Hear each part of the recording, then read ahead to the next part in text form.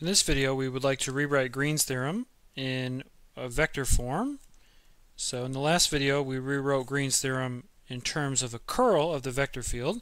In this one we're going to try to use the divergence. And so let's remember the setup. So I won't go through in too much detail here, but D has to be a Jordan region. Okay.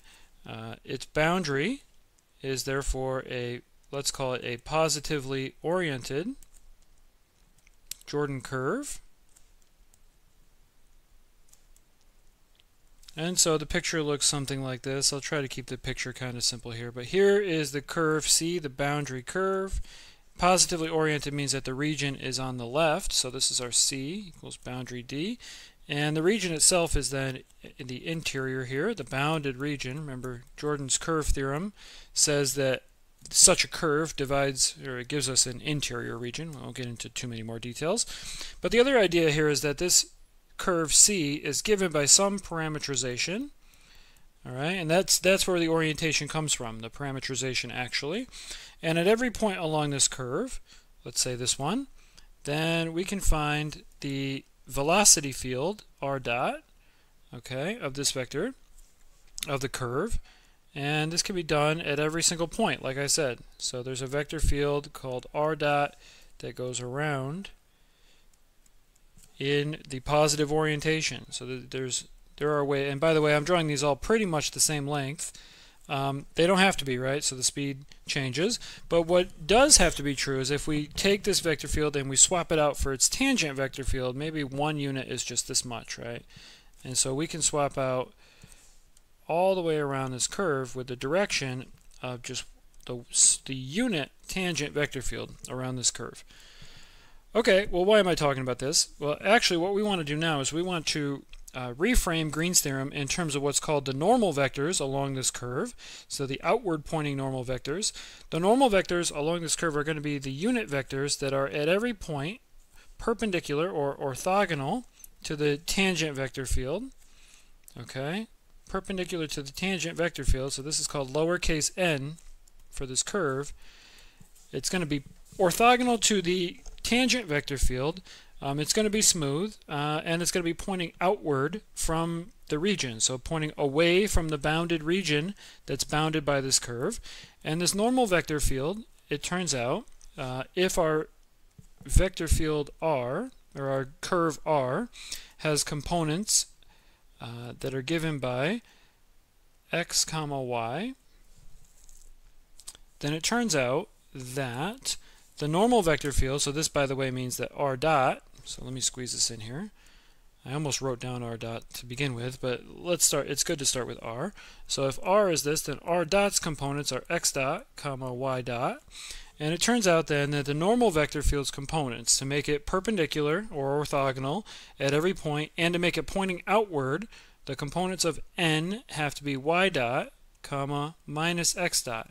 It's easy to see that if you take the dot product of these two, you will get 0, right? That's, that part's easy to see. Um, but it's not, you know, you have to think about it a little bit to get that this is the outward pointing. I'll let you guys work that out.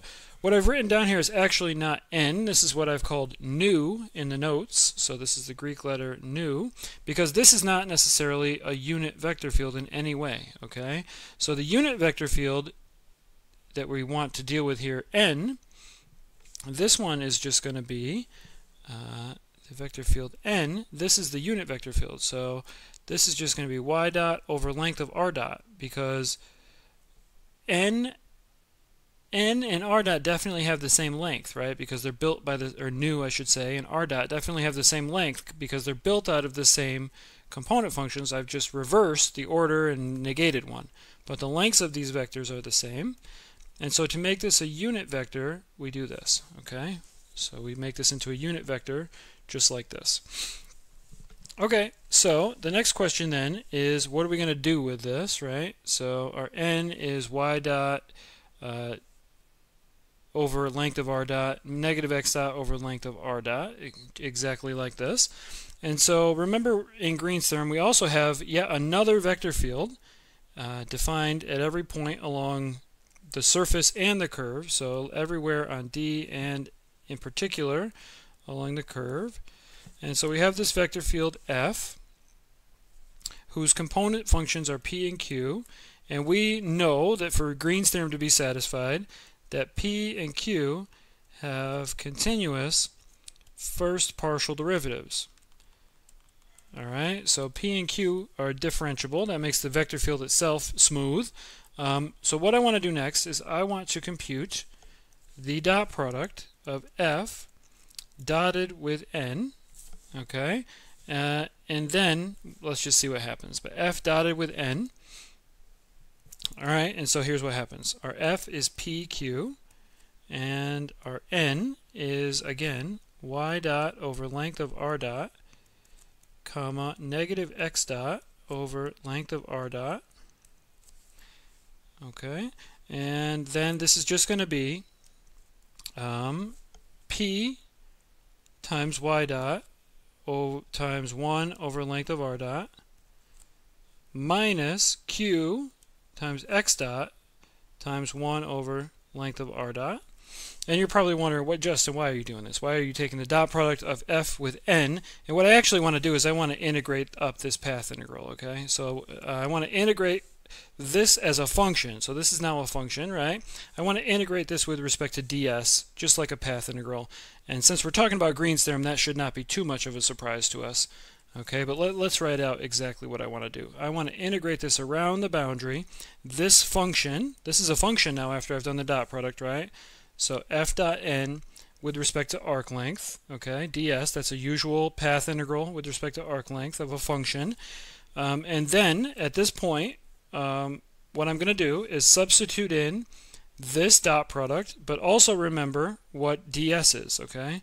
So this is then integral of the path of p times y dot times 1 over length of r dot minus q times x dot times 1 over length of r dot times ds. But ds is length of r dot dt, right? Okay, and so now if we work this out, if we work this out, then what do we end up with? Well, all these r length of r dots are going to cancel.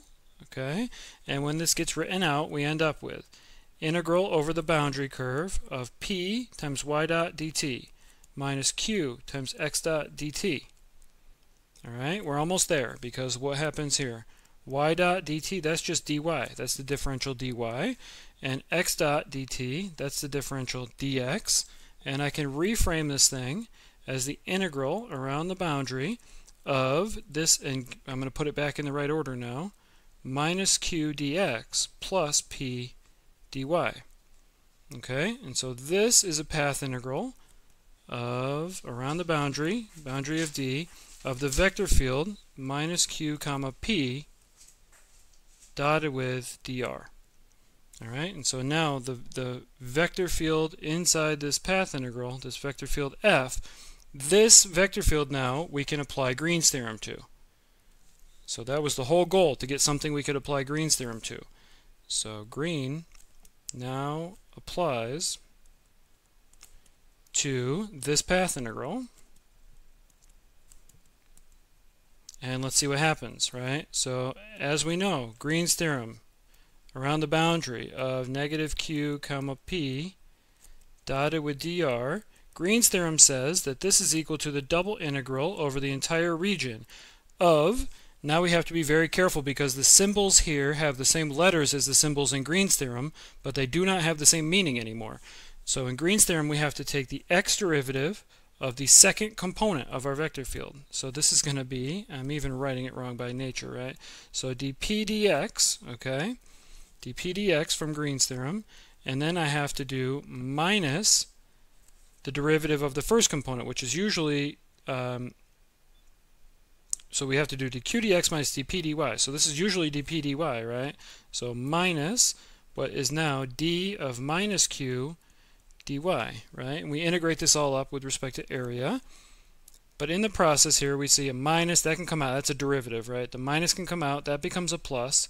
And so this double integral is now the integral of dp dx plus dq dy dA, but this term right here is exactly the divergence of our original vector field f. That's the divergence of the original vector field f.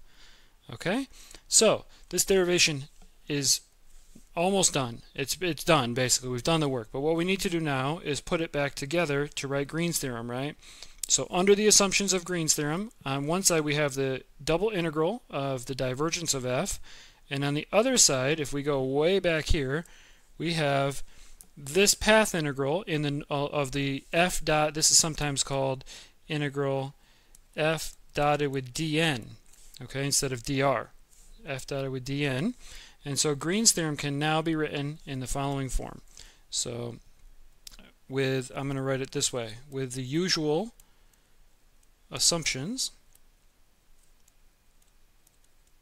we obtain that Green's theorem can be written as the integral around the boundary of our vector field f dotted with dn now. It's very important to write dn and not dr. This is equal to the double integral over all of d of the divergence of f dA. Okay? So